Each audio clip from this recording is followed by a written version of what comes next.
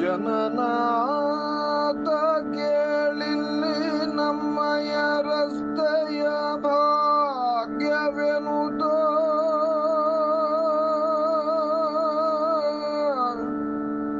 ಜನನಾಥ ಕೇಳಿಲ್ಲಿ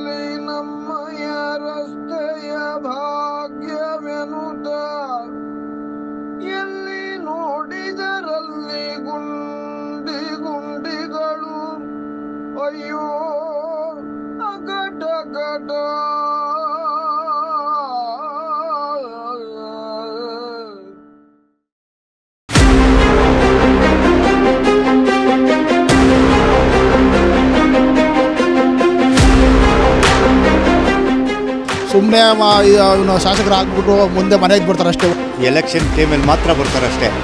ಯಾವ್ದು ಬರಬೇಕು ಅನ್ನೋದೇ ಇದಿಲ್ಲ ನಮಗೆ. ಅಷ್ಟೇ ಯಾವ್ದು ಬಂದರೆ ಸರಿ ಹೋಗುತ್ತೆ ಅನ್ನೋದು ಕಾನ್ಫಿಡೆನ್ಸ್ ಇಲ್ಲ. ಹಿಂದೆ ಹಿಡಿದು ಪ್ರತಿಯೊಬ್ಬರು ನಾಗರಿಕರು ಎರಡು ವರ್ಷದಿಂದ ಏನು ಸೋತಿದ್ದೀವಿ ಅಂತ ಅವ್ರ ಮನೇಲಿ ಕೂತ್ಕೊಂಡಿಲ್ಲ. ಅವ್ರು ಆಲ್ರೆಡಿ ಎಲ್ಲ ಕೆಲಸ ಕಾರ್ಯಗಳಿಗೂ ಸ್ಪಂದಿಸ್ತಿದ್ದಾರೆ. ವೀಕ್ಷಕರೇ, ಎಲ್ಲರಿಗೂ ನಮಸ್ಕಾರ. ಎರಡು ಹೊತ್ತಿನ ಊಟಕ್ಕೆ ತರಕಾರಿಯನ್ನು ಎಷ್ಟು ಶ್ರದ್ಧೆಯಿಂದ ಆರಿಸುತ್ತೇವೆ? ಮೂರು ದಿನ ಬರೆದು ಬಿಸಾಕುವ ಪೆನ್ನನ್ನು ಎಷ್ಟೊಂದು ಪರೀಕ್ಷಿಸುತ್ತೇವೆ? ಒಂದು ತಿಂಗಳು ಬಾಳಿಕೆ ಬಾರದ ಬಟ್ಟೆಯನ್ನು ಎಷ್ಟು ಜಾಗ್ರತೆಯಿಂದ ಆರಿಸುತ್ತೇವೆ?